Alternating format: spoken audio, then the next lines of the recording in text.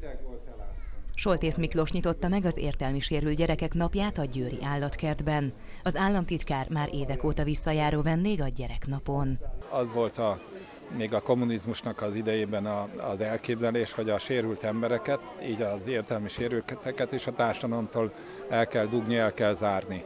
Ez hála Istennek feloldódott az elmúlt két és fél évtizedben, és azt kell mondani, hogy az elmúlt öt év során pedig olyan társadalmi folyamatok indultak el, amelyek mindenképp hatalmas nagy változást indítottak be.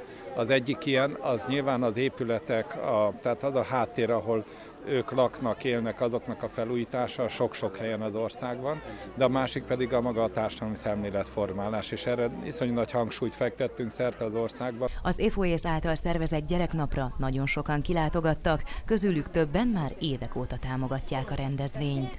Én úgy látom, hogy a magyar társadalom egyre inkább toleráns és befogadó a sérültséggel élők irányába is, és ennek egy reprezentációja ez a mai esemény is, hiszen államtitkár úr is, Oltész Miklós évek óta visszatérő vendég, mindig szán arra egy vagy másfél órát, hogy eljöjjön Győrbe, de elmondható ez a motorosokról és a rengeteg támogatóról is. A városvezetés is mindig törekszik arra, hogy támogassa a sérültséggel élőket, tette hozzá az országgyűlési képviselő. Az önkormányzat és egyáltalán a Győrben élő emberek befogadóak és nyitottak, és amely munkákra lehet alkalmazni és felvenni sérültséggel élőket, ez megtörténik, és ahol pedig lehet találkozni sporteseményeken, különböző kulturális rendezvényeken mindig előnyt és helyet biztosítunk a sérültséggel élőknek is. Idén több mint ezer látogatót vonzott a Győrmoson-Sopron megyei Egyesület rendezvénye, amely sokszínes programmal egészítette ki az állatkerti sétát. A gyerekek és a fiatal felnőttek most már nagyon-nagyon készültek, már ez már januárban eldöntött tény, hogy lesz egy gyereknap,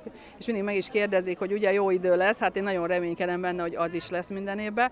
Most jelen pillanatban olyan 1000-1200 fő van, aki látogatja az állatkertet, ez egy nagyon nagy létszám, az egész megyéből, Szlovákiából jöttek hozzánk, Bicskéről érkezett csoport, úgyhogy mi nagyon örülünk, hogy ilyen sokszínű kavalkád van. A gyereknapon lehetett lufit hajtogatni, kipróbálni az arcfestést, de fagyit is nyalhattak a gyerekek a motorosok jó voltából.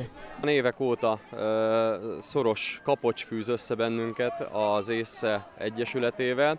Minden évben itt vagyunk ezen a gyereknapon, és minden évben egy kis fagyival kedveskedünk a gyerekeknek, illetve hát aki az ideje engedi, az, az mindig itt van velünk a társaságban, most is öt motorral érkeztünk. Egyébként ugye év, egy évben több ilyen rendezvény is van, ahol találkozunk az észével, ilyen akár a Mikulás diszkó, illetve hát mi szervezünk egy Mikulás ünnepséget gyakorlatilag a, a gyerekeknek. A délután négy óráig tartó gyereknapnak az időjárás is kedvezett, mindez azonban a segítők áldozatos munkája nélkül nem valósulhatott volna meg. Nagy-nagy köszönet illeti az értelmileg sérültek Győrmoson-Sopron megyei egyesületét, hiszen az ő áldozatos munkájuk, az önkénteseik munkája nélkül ennek a sok kisgyermeknek biztos, hogy nem tudnának örömet szerezni. És hát köszönet illeti az állatkertet is, hiszen ez a program most már hosszú évekre tekint vissza itt a Győri állatkertben. A csütörtök tehát 1200 értelmi sérültnek szerzett boldog önfelett napot, melyhez nagyon sokan járultak hozzá.